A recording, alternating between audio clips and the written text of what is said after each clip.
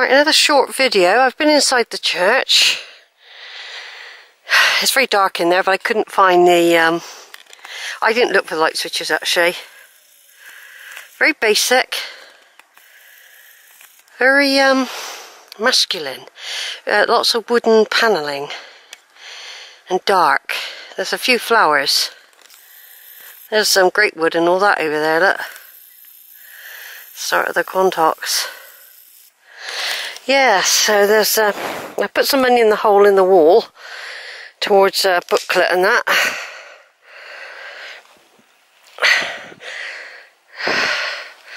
Nice little grave down there of a couple that were born in the early 1900s.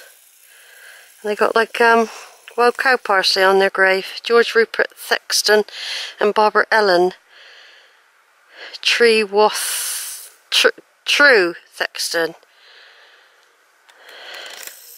I thought that was rather nice having the wild cow parsley sculptured onto that, engraved, whatever you like to call it.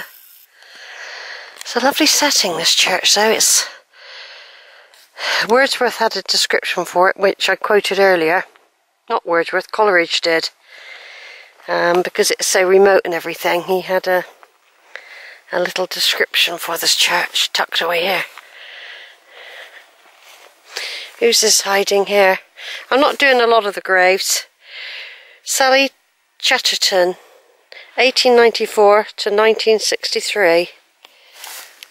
Oh, just a little bit of a stone left there.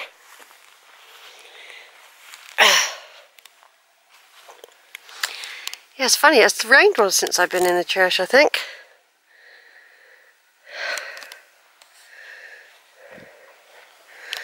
Sun's come out, it's like April showers today.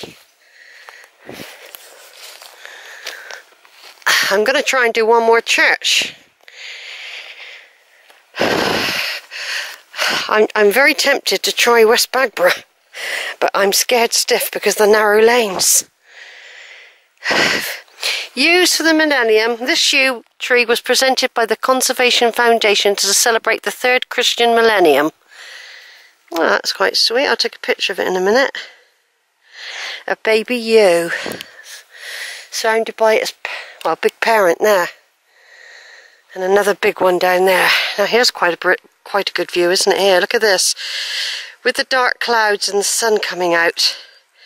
It's a very good view of this um, little church here. yeah, because these are sort of hills my old bird has got to try and get up.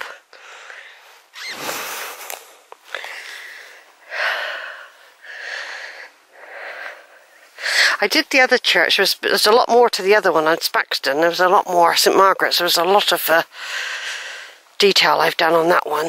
Um, I've done this one quite well, but uh,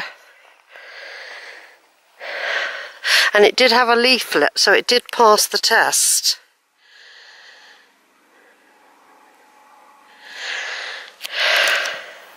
Yeah, I did a little bit of videoing inside and outside.